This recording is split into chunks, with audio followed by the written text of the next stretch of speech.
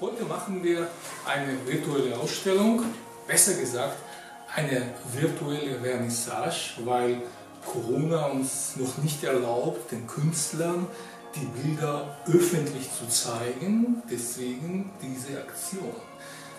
Ich werde euch meine Bilder zeigen, die ich in diesem Jahr, also im Corona-Jahr, gemalt habe und davon was erzählen. Viel Spaß!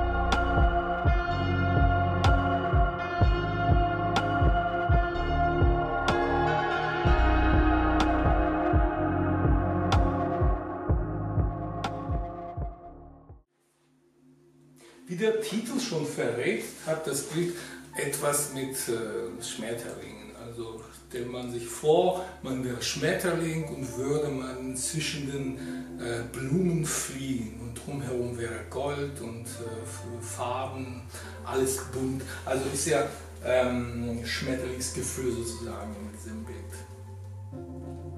Das ist ein frühherbstliches Bild, wo alles äh, noch blüht, aber sehr dezent und sehr, mit sehr warmen Farben.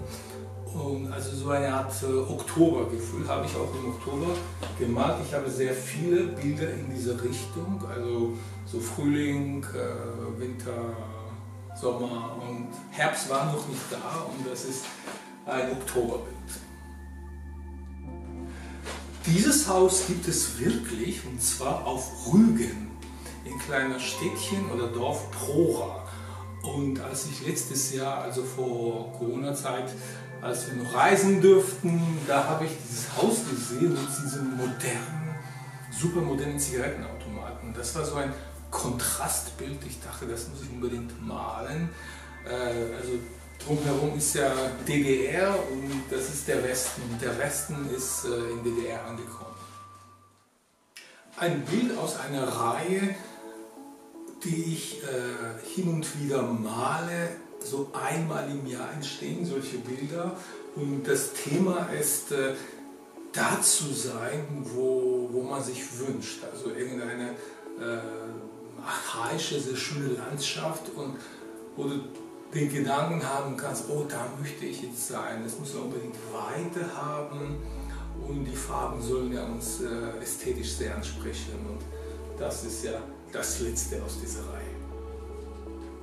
Dieses Bild ist auch aus einer Reihe und zwar habe ich ja eine, ein Ritual oder besser gesagt eine Tradition äh, zu Weihnachten, am Heiligen Abend so besondere Bilder zu malen. Und äh, das ist am letzten Weihnachten entstanden. Ähm, das Thema war Licht der Hoffnung, also Lichter der Hoffnung, die wir jetzt gerade sehr brauchen. Und ich habe versucht, die Farben zu finden, eine Farbkombi, die tatsächlich so, so eine Art Hoffnung und Kraft und äh, Liebe vermitteln können. Und äh, das ist daraus entstanden. Ich male sehr gerne monochrome Bilder, also Bilder, die, wo eine Farbe dominiert, mit hell und dunkel natürlich, und in diese Richtung habe ich ja sehr viele Bilder schon gemalt. Und eine Farbe war ja noch nie vertreten dabei und das ist Petrol. Und wirklich habe ich das gewagt und das ist das Ergebnis. Und äh, das hat auch was mit der Liebe zu tun, wie der Titel das verrät. Auch ein monochromes Bild mit dem Titel Indian Summer. Äh, ich habe versucht, äh, äh aus dieser man kennt ja die Bilder aus Massachusetts, so USA, Nordosten, wo Indian Summer blüht und so in den Wäldern so ganz tolle Farben entstehen, so ähm, so lachsige, orangige, dunkel äh, rote Bordeaux-Farben. Und aus diesen Farben habe ich ja eine Kombi gemacht und so ist ja das Bild entstanden.